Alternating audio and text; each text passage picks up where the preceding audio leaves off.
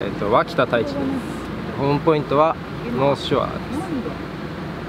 年齢は？年齢は21日でサーフィンを始めたきっかけと始めた年をお願いします。えっと始めたのは5歳ぐらいできっかけはやっぱ親父がプロサーファーだったんでそれでまあ半ば強制的に始めさせられました。で、えー、とサーフィンの好きなとこは？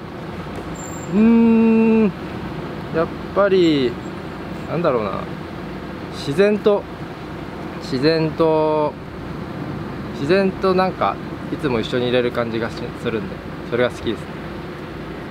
えっ、と今後の活動何をやってきますか？うーんやっぱりそのパイプでのパイプでいい波とかはもう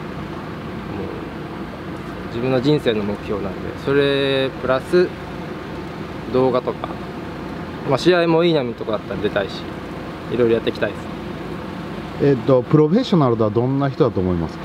プロフェッショナルはお金を稼ぐ人です。ねで最後あのメンタルトレーニングとかコーチングとかはやってるんですか？はやってないですね僕は。はい。自分で自分の中で消化してで自分にとって何が一番いいかいつも探してます。で最後なんか伝えたいこととかなんか今後やることとか新しいことあったらしい、うん。